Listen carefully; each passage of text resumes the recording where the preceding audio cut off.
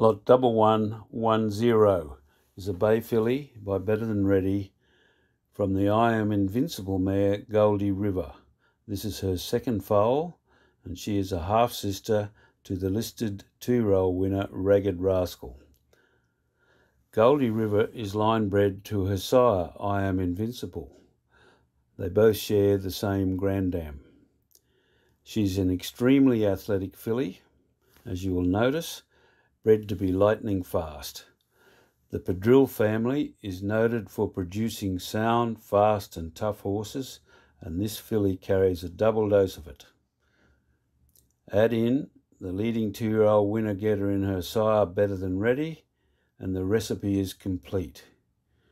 She's extremely correct.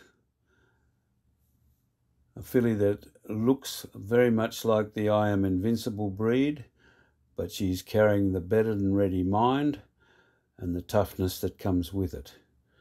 Uh, she's very correct.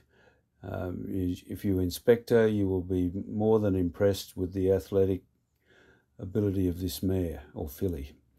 I hardly recommend a, uh, an inspection. Thank you.